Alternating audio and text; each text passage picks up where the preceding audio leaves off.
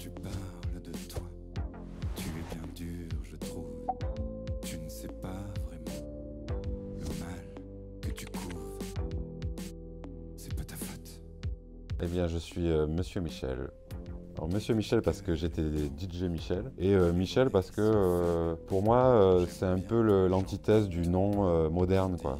C'est Michel, c'est rien de plus traditionnel et euh, Monsieur Michel ça me fait marrer. Et, c'est mon deuxième prénom. Et c'est le prénom de mon père. Donc finalement le résultat c'est que je lui fais un hommage sans faire exprès. Parce que euh, le dispositif a une certaine réputation dans, le Gard, euh, que le groupe a un an maintenant et que ben, a tenté. Et puis on a été sélectionné donc c'est cool. Que tu es belle Ben, tout est dans le titre, hein, c'est que de temps en temps on a tendance à se, à se faire du mal, à se culpabiliser dans des moments de détresse amoureuse, là en l'occurrence dans ce titre, et de, de- se dire ben voilà c'est pas, pas ta faute, c'est une, une phase difficile à passer et il faut, il faut aller de l'avant.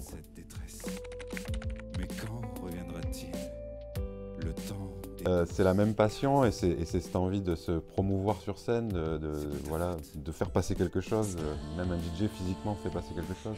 Et là, ben, c'est c'est aller plus loin dans cette passion-là et, que j'aime la musique depuis toujours, donc euh, il fallait y aller quoi. De toute façon, l'amour c'est un confinement. Moi, je crois pas au polyamour et tout ça. Et passionnellement parce que euh, l'amour, c'est la passion. tu te laisses aller